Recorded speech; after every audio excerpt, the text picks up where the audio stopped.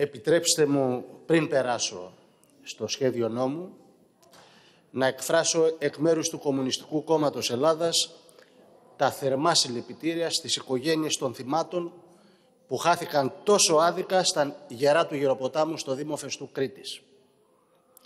Αυτό το τραγικό συμβάν με θύματα τέσσερις ανθρώπινες ζωές αναδεικνύει την κρατική γύμνια, την έλλειψη υποδομών και κυβερνητικού σχεδιασμού για την προστασία από τα φυσικά φαινόμενα.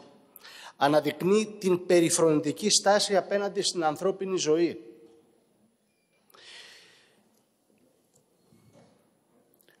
Πολλοί μιλάνε για την πολιτική προστασία, για την ανάγκη να πάρθουν μέτρα από την κυβέρνηση, από την τοπική, από την περιφερειακή διοίκηση, κάνουν ανέξοδους σχεδιασμούς, αλλά επί χάρτου, στην πραγματικότητα είναι για να ξεγελάσουν το λαό και δίνοντας ψίχουλα για τις λαϊκές ανάγκες.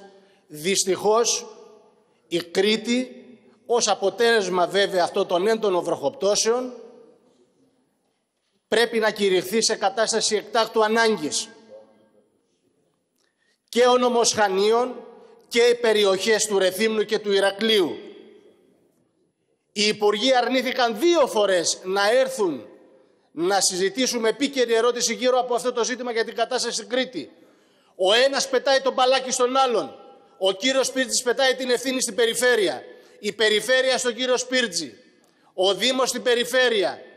Ο κύριος Σπίρτζης στον κύριο Χαρίτσι δεν βρίσκει κανένας άκρη για το ποιος έχει την πρώτη και την κύρια ευθύνη. Η ευθύνη είναι αποκλειστικά στις κυβερνήσεις που διαχρονικά οδήγησαν τα πράγματα εκεί και εγκατέλειψαν στο έλεος, στην κυριολεξία στο έλεος, τις ανθρώπινες ζωές. Και περνώντας στο σχέδιο νόμου. Το σχέδιο νόμου πρόκειται για ένα πολυσύνθετο και σπονδυλωτό από αυτά που συνηθίζουν να εισάγουν το Υπουργείο Δικαιοσύνης και η κυβέρνηση δυσκολεύοντας την ουσιαστική συζήτηση και τοποθέτηση.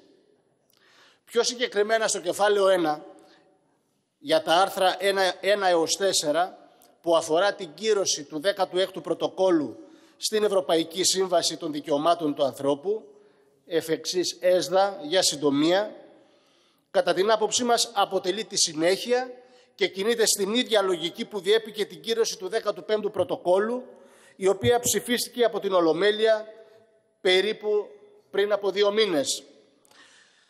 Το 15ο πρωτόκολλο ήταν ένα αποτέλεσμα προσπάθειας να αμβληνθούν τριβές που είχαν προκύψει ανάμεσα στο Ευρωπαϊκό Δικαστήριο των Δικαιωμάτων του Ανθρώπου και τις εθνικές αρχές και τα δικαστήρια ως αποτέλεσμα συγκρούσεων στην Ευρωπαϊκή Ένωση και ταλαντεύσεων που εκφράζονται και στο επίπεδο των ατομικών δικαιωμάτων. Με το σχετικό πρωτόκολλο αναγνωρίστηκε ένα σημαντικός ρόλος στα εθνικά δικαστήρια βάσει της αρχής της επικουρικότητας και τους δόθηκε ένα περιθώριο ελιγμών ώστε να προσαρμόζονται με μια ευελιξία στην εφαρμογή των υποχρεώσεων από την ΕΣΔΑ. Επιφυλάχθηκε για το Ευρωπαϊκό Δικαστήριο ένας πιο επιτελικός ρόλος στην ενοποίηση της σχετικής νομολογίας. Σε αυτή την κατεύθυνση της ενίσχυσης του επιτελικού ρόλου που καλείται να διαδραματίσει το Ευρωπαϊκό Δικαστήριο Δικαιωμάτων του Ανθρώπου, κινείται και το 16ο πρωτόκολλο της ΕΣΔΑ, το οποίο και συζητούμε. Προβληματικό σημείο του πρωτοκόλλου, κατά τη γνώμη μας, πέραν της γενικής τουλάχιστον επιφύλαξής μας για το ρόλο του Ευρωπαϊκού Δικαστηρίου Δικαιωμάτων του Ανθρώπου, είναι το άρθρο 3 του πρωτοκόλλου, το οποίο παρέχει στον πρόεδρο του Ευρωπαϊκού Δικαστηρίου στα πλαίσια της γνωμοδοτικής διαδικασίας και στην σχετική ακροαματική διαδικασία την δυνατότητα κατ' ελεύθερη κρίση του να καλέσει τη σχετική, στη σχετική διαδικασία για να υποβάλει εγγράφους παρατηρήσεις οποιοδήποτε άλλο πλην του κράτους ανώτατο δικαστήριο του οποίου ζητεί τη γνωμοδότηση και εκφράζει την άποψή του, συμβαλόμενο κράτος ή πρόσωπο που δεν είναι διάδικος ή κάθε ενδιαφερόμενο πρόσωπο, το οποίο, το οποίο βεβαίως μπορεί να εκφράζει σημαντικά οικονομικά, πολιτικά συμφέροντα και να επηρεάσει την κρίση του δικαστηρίου για την γνωμοδότηση. Το βασικό ζήτημα για το Κομμουνιστικό Κόμμα Ελλάδας είναι ότι η ευρωενωσιακή αλλά και η εχώρια νομοθεσία και άσκηση της δημόσιας εξουσίας γίνονται πιο αντιδραστικές και αυταρχικές απέναντι στους εργαζόμενους και τα λαϊκά στρώματα και όσον αφορά τα ατομικά δικαιώματα και ελευθερίες. Η αποτελεσματική διέξοδος δεν μπορεί να είναι η καταφυγή στο Ευρωπαϊκό Δικαστήριο για το ρόλο του οποίου, όπως προαναφέραμε, έχουμε τουλάχιστον ισχυρές επιφυλάξεις, αλλά ο αγώνας των εργαζομένων και του λαού της χώρας μας, όπως και των άλλων κρατών της Ευρώπης, για την ανατροπή αυτής της νομοθεσίας και εξουσίας. Και μέσα σε αυτόν τον συνολικό αγώνα θα κατακτώνται έστω και προσωρινά κάποιες, κάποια επιμέρους δικαιώματα και ελευθερίες. Για τους παραπάνω λόγους το ΚΚΕ ψηφίζει παρόν στα σχετικά άρθρα 1 ε, έως 4, όπως αντίστοιχα είχε τοποθετηθεί και για το 15ο πρωτόκολλο το, το οποίο προηγήθηκε ε, του, του 16ου που συζητάμε σήμερα. Στο κεφάλαιο 2, για τα άρθρα 5 έως 10 που αφορούν πλευρές του τεκμηρίου αθωότητας.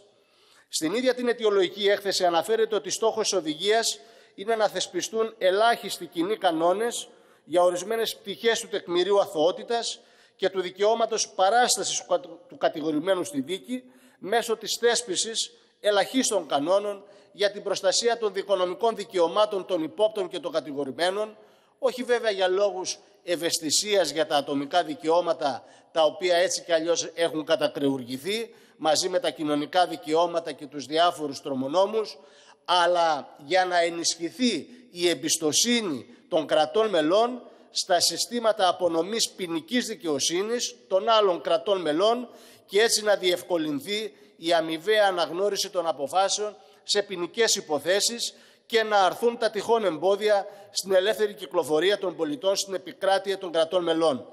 Με άλλα λόγια, ο λόγος καθιέρωσης της οδηγίας είναι μέσω της διευκόλυνσης της εφαρμογής της αρχής της αμοιβαίας αναγνώρισης των αποφάσεων σε ποινικές υποθέσεις, να προωθηθεί η διατήρηση και ανάπτυξη του αντιδραστικού ενιαίου χώρου ελευθερίας, ασφάλειας και δικαιοσύνης της Ευρωπαϊκής Ένωσης, όπως αυτά διαμορφώθηκαν με τη, με τη Συμφωνία του Τάμπερε της Φιλανδίας, στη συνέχεια με το πρόγραμμα της Χάγης και το πρόγραμμα της Στοχόλμης το 2010 και ειδικότερα σε ζητήματα δικαστικής συνεργασίας των κρατών μελών σε ποινικές υποθέσεις. Το ΚΚΕ είχε αντιδράσει και είχε αντιταχθεί σε αυτή τη διαδικασία. Είχε επισημάνει τις μεγάλες αρνητικές συνέπειες για τα δικαιώματα και τις ελευθερίες τόσο των πολιτών των κρατών μελών της Ευρωπαϊκής Ένωσης και των πολιτών τρίτων χωρών, ιδίως των μεταναστών και των προσφύγων. Όλες οι αντιδραστικές νομοθετικές παρεμβάσεις σε διακρατικό και εθνικό επίπεδο επιβεβαίωσαν τη θέση του ΚΚΕ. Και αναφέρουμε στη συνθήκη Σέγγεν, στην πρόθεση νομοθεσίας για το αρμόδιο κράτος να εξετάσει την αίτηση ασύλου, η τρομονόμη, το Δουβλίνο 1, 2, το Ευρωπαϊκό Ένταλμα Σύλληψης και διάφορα άλλα, καθώς και πρακτικές των κρατών μελών της Ευρωπαϊκής Ένωσης και κατασταλτικοί μηχανισμοί που έφτιαξαν όπως η Europol και η Eurojust. Πιο συγκεκριμένα για τα σχετικά άρθρα, επισημαίνουμε ως προβληματικό σημείο της οδηγίας στα άρθρα 5, 6, 7 σχετικά με την κοινή αντιμετώπιση του υπόπτου με το κατηγορούμενο στο ζήτημα του λεγόμενου τεκμηρίου αθωότητας, ειδικότερα με την προσθήκη και του άρθρου 72α του Κώδικα ποινικής Οικονομίας που, εισάγεται, που εισάγει το άρθρο 6. Είναι προβληματικό διότι για τον απλό ύποπτο δεν θα έπρεπε καν να τεθεί θέμα εφαρμογής τεκμηρίου αθωότητας, αφού δεν θα έπρεπε να αντιμετωπίζεται ως ενδυνάμει κατηγορούμενος. Ένας λόγος παραπάνω, όταν στην πράξη, εξαιτίας της ολοένα και πιο κατασταλτικής νομοθεσίας, η οποία στερεί από τους πολίτες στοιχειώδεις δικονομικές εγγυήσεις, όπως για παράδειγμα τη λήψη του DNA, στο όνομα της αντιμετώπισης της τρομοκρατίας παρατηρείται διεύρυνση του κύκλου των υπόπτων και της αβασάνης της μετατροπή τους σε κατηγορούμενους είναι νοπή ακόμα η χαρακτηριστική υπόθεση της Ιριάννας και του Περικλή. Ως Κομμουνιστικό Κόμμα Ελλάδας είχαμε ασκήσει έντονη κριτική στο Ευρωπαϊκό Ένταλμα Σύλληψης, στο νόμο 3251 του 2004 και σας υπενθυμίζω ότι εισάγει για πρώτη φορά το καθεστώς του υπόπτου. Για παράδειγμα, θα μπορούσε να πακεταριστεί και να σταλεί ένας Έλληνας σε κράτο μέλος της Ευρωπαϊκής Ένωσης που οι αστυνομικές του αρχές θα το θεωρούσαν ύποπτο τέλεσης κάποιου αδικήματος. Με προβληματικό επίσης τρόπο αποτυπώνεται στο άρθρο 7 η παροχή της δυνατότητας άσκησης αγωγής αποζημίωσης από το κατηγορούμενο εξαιτίας της προσβολής του τεκμηρίου αθωότητας από δηλώσεις δημόσιων αρχών σε οποιοδήποτε στάδιο της διαδικασίας πριν την έκδοση απόφασης πρώτου ή δεύτερου βαθμού, οι οποίες δηλώσεις αναφέρονται κατά τρόπο άμεσο στην εκρεμή ποινική διαδικασία και είτε παροτρύνουν το κοινό να πιστέψει στην ενοχή του κατηγορουμένου, είτε προβαίνουν σε εκτίμηση των πραγματικών περιστατικών με την οποία προδικάζουν το αποτέλεσμα της δικαστικής κρίσης. Η τροπολογία βουλευτική που έχει κατατεθεί με γενικό αριθμό 1956 και ειδικό 170 που αφορά την προσθήκη στο συγκεκριμένο άρθρο 7 για την παραβίαση του τεκμηρίου αθωότητας, εάν γίνει δεχτή, εμείς θα ψηφίσουμε παρόν. Αυτή η τροπολογία όμως μπορεί να έχει βάση, γι' αυτό ψηφίζουμε και παρόν, αλλά ελοχεύει κινδύνους στο πώς και από ποιους μπορεί να αξιοποιηθεί. Κατά τη γνώμη μας, το τεκμήριο αθωότητας του, κατα... του κατηγορημένου πρέπει να προστατευτεί. Αλλά δεν αποτελούν τα παραπάνω τον καταλληλότερο τρόπο. Πόσο αποτελεσματική προστασία του τεκμηρίου αθωότητας παρέχεται με τη ρύθμιση όταν περιορίζεται η προσβολή του από τις δημόσιες αρχές; Από τα μέσα μαζικής ενημέρωσης των μεγαλοεπιχειρηματιών που διαπομπεύουν όποιο συλληφθέντα θέλουν για λόγους αύξησης της τηλεθέασης, της διαφήμισης και τελικά των κερδών τους ή και για λόγους διασύνδεσης με δημόσια πρόσωπα, ποια προστασία του τεκμηρίου αθωότητας παρέχεται σε αυτή την περίπτωση. Διόλου απίθανο όμως η ρύθμιση να λειτουργήσει και προς την αντίθετη κατεύθυνση από την επιδιωκόμενη κατεύθυνση να την αξιοποιήσουν δηλαδή ακόμα και καθομολογία τους εγκληματίες για να επιτύχουν οικονομικό όφελος. Από εκεί και πέρα, με τα υπόλοιπα σχετικά άρθρα του κεφαλαίου αυτού, εισάγονται απλές λογικές ρυθμίσεις, οι οποίες σχεδόν αυτονόητα έπρεπε ήδη να ισχύουν. Στα άρθρα λοιπόν 5, 6 και 7 λέμε παρόν και υπερψηφίζουμε τα άρθρα 8, 9, 10. Στο κεφάλαιο 3, άρθρα 11 έως 15 ψηφίζουμε παρόν αφορά το Ευρωπαϊκό Ένταλμα Σύλληψης. Αφορά μια πλευρά του Ευρωπαϊκού Εντάλματος Σύλληψης και ειδικότερα, όπως αναφέρεται στην αιτιολογική έκθεση, στη θεσμοθέτηση κοινών βάσεων που θα επιτρέπουν την άρνηση αναγνώρισης αποφάσεων οι οποίες έχουν εκδοθεί σε δίκες κατά τις οποίες ο εξητούμενος δεν εμφανίστηκε αυτοπροσώπως. Από μια πρώτη ματιά φαίνεται οι ρυθμίσεις να ενισχύουν τη διαφύλαξη των δικονομικών δικαιωμάτων του εξητουμένου, ώστε να αποφευχθεί η εκτέλεση ενός ευρωπαϊκού εντάλματος σε βάρος του, αναφορικά με μια απόφαση που εκδόθηκε σε δίκη χωρίς τη φυσική του παρουσία. Στην ουσία όμως, όπως είναι διαμορφωμένες οι διατάξεις, ιδίως των άρθρων 11 και 13, αφήνονται παράθυρα ανοιχτά υπό προϋποθέσεις για εκτέλεση ενός ευρωπαϊκού εντάλματος αναφορικά με απόφαση που εκδόθηκε από το εξητούν κράτος και επιβάλλει ποινή στερητική της ελευθερίας, ακόμα και αν ο εξητούμενος καταδικάστηκε στο εξητούν κράτος χωρίς την αυτοπρόσωπη παρουσία του στο δικαστήριο. Οι ρυθμίσεις συνολικά επιδιώκουν στην ουσία να εξασφαλίσουν κάποιες κοινέ εγγυήσεις νομιμότητας, ώστε τελικά να διευκολύνεται η εκτέλεση ευρωπαϊκών ενταλμάτων σύλληψης. Και αυτό για να προωθείται η αρχή της αμοιβαίας αναγνώρισης των αποφάσεων σε επίπεδο κρατών μελών της Ευρωπαϊκής Ένωσης στα πλαίσια του λεγόμενου ενιαίου χώρου ελευθερίας, ασφάλειας και δικαιοσύνης. Το ΚΚΕ είχε διαφωνήσει έντονα στην θεσμοθέτηση του Ευρωπαϊκού Εντάλματος το 4 στη συζήτηση του σχετικού νομοσχεδίου και μάλιστα αποχώρησε τότε.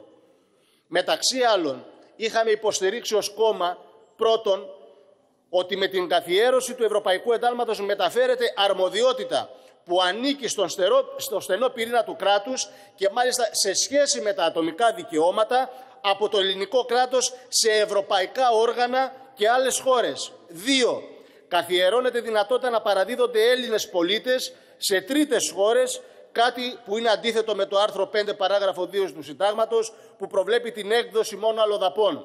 Τρία, κάμπτεται η αρχή του διτού αξιοπίνου από τη στιγμή που μπορεί να υποχρεωθεί η χώρα να παραδώσει Έλληνα πολίτη ή άλλο πρόσωπο σε τρίτη χώρα για ένα αδίκημα χωρίς να προβλέπεται το σχετικό αδίκημα και στη χώρα μας.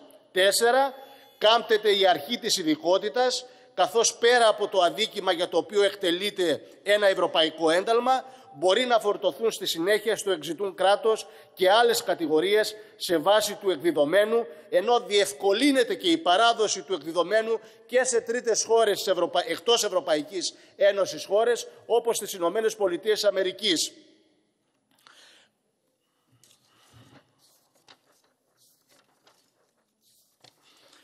Στο κεφάλαιο 4, στα άρθρα 16-21 που αφορά την Ευρωπαϊκή Εισαγγελία, οι διατάξεις αυτές είναι άκρος αντιδραστικές και επικίνδυνες για τις λαϊκές ελευθερίες, στο, για τις διατάξεις τις οποίες το ΚΚΕ είχε αντιταχθεί έντονα, τις είχε καταγγείλει, καθώς και τη συμμετοχή της χώρας μας σε αυτόν, δηλαδή στην Ευρωπαϊκή Εισαγγελία, με διορισμό Έλληνα Ευρωπαίου Εισαγγελέα. Ιδιαίτερα αρνητικό και επικίνδυνο το άρθρο 19 του σχεδίου νόμου που δίνει στους Ευρωπαίους εντεταλμένους αγγελείς τις ίδιες εξουσίες με τους εθνικούς εισαγγελείς όσο αφορά την έρευνα, τη δίωξη και την παραπομπή υποθέσεων ενώπιον της δικαιοσύνης. Αυτό το κεφάλαιο το καταψηφίζουμε στο σύνολό του και μάλιστα ζητάμε την απόσυρσή του. Στο κεφάλαιο 5 άρθρα 22 και 39 που αφορούν διάφορα ζητήματα λειτουργίας της δικαιοσύνης δεν θέλω να επεκταθώ περισσότερο διότι δεν με παίρνει ο χρόνος. Απλώς, απλώς να πω για το άρθρο 38. Θα έχετε και δευτερολογία κύριε Συνδυχάκη. Ναι, στα άρθρα 38 και να ολοκληρώσω με αυτό κύριε Πρόεδρε, σχετικά με τη διενέργεια ιατροδικαστικών πράξεων, θα την υπερψηφίσουμε. Με τη συγκεκριμένη ρύθμιση έχει γνωματεύσει θετικά η εισαγγελία του Αριουπάγου, θετικά αντιμετωπίζει τη ρύθμιση και η ελληνική ιατροδικαστική εταιρεία. Η ρύθμιση προβλέπει οι ιατροδικαστικές πράξεις να γίνονται και στα νοσηλευτικά ιδρύματα του ΕΣΥ που διαθέτουν ιατροδικαστή και κατάλληλη εργαστηριακή υποδομή με την ίδια διαδικασία που υπάρχει και στις άλλες ιατροδικαστικές υπηρεσίες. Δηλαδή δεν θα γίνονται κατ' εξαίρεση όπως ίσχυε μέχρι σήμερα. Επισημαίνουμε όμως ότι οι ιατροδικαστές που εργάζονται στα δημόσια νοσοκομεία ως επικορικοί πρέπει να μονιμοποιηθούν άμεσα και δύο, καμία ιατροδικαστική πράξη να μην επιβαρύνει τις οικογένειες είτε αφορά γνωματεύσεις είτε αφορά τα έξοδα της μεταφοράς όταν αυτό απαιτείται του εξεταζομένου. Συνολικά, επί της αρχής, καταψηφίζουμε το νομοσχέδιο, κυρίως επειδή περιλαμβάνει το τέταρτο κεφάλαιο με διατάξεις για τον αντιδραστικό και επικίνδυνο για τις λαϊκές ελευθερίες θεσμό της Ευρωπαϊκής Αγγελίας.